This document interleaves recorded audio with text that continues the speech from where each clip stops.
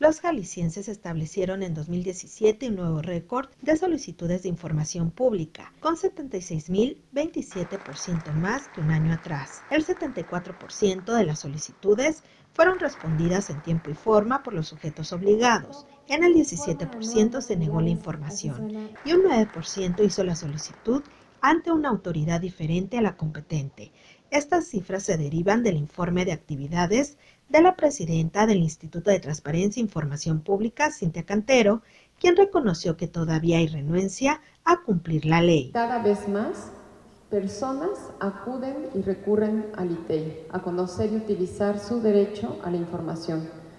Las exigencias eh, que los sujetos obligados entreguen y publiquen información se incrementan progresiva y gradualmente, exhibiendo también las carencias y omisiones que algunos continúan, a las que algunos continúan resistiéndose, porque existe esta resistencia al cambio institucional.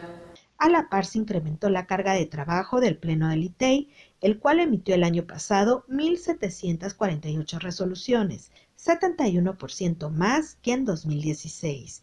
El 95% de los casos corresponden a recursos de revisión, el 4% a recursos de transparencia, y el 1% fueron en materia de protección de datos personales. En 119 se determinaron medidas de apremio y sanciones. El gobernador Aristóteles Sandoval Díaz acudió al informe de Cintia Cantero que se realizó en el Teatro de Gollado.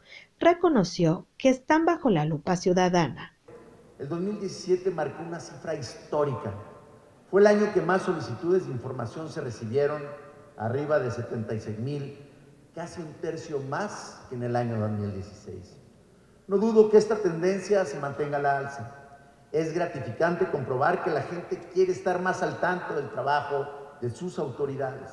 El ITEI verificó el año pasado a 161 sujetos obligados y el nivel de cumplimiento de la Ley de Transparencia del Estado fue del 75%. Con imágenes de Juan González, señal informativa Georgina García Solís.